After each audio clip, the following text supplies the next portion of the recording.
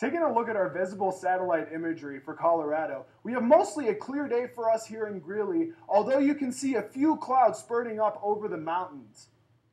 Taking a look at our surface fronts for most of the country, we have a very mature cyclone sitting over in the east right now, outside of the Midwest, which is causing much disturbances for most of the Midwest with rain, storms, and rain up into Canada too. But we also have this high pressure sitting down here in Louisiana and Texas, which, was provide, which is providing much of a pleasant weather experience for many of the people down south.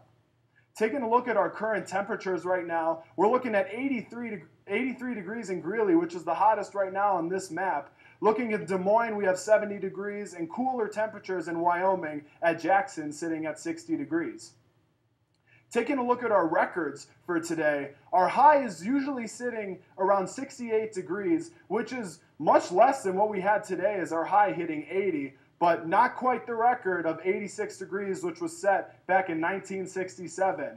Our sunset and sunrise are sitting right at the longest times of year, almost hitting 12 hours for a full day of sunshine, but we'll see those eventually start to fall back once we hit daylight savings.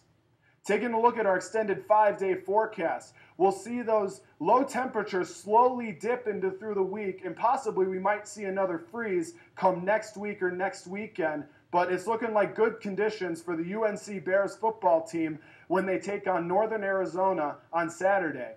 Into Sunday, we could see a slight chance of showers, for most of the front range, but it is very deceiving as of right now whether those storms will fire down south in Denver or whether they'll fire north and more towards Cheyenne, Wyoming.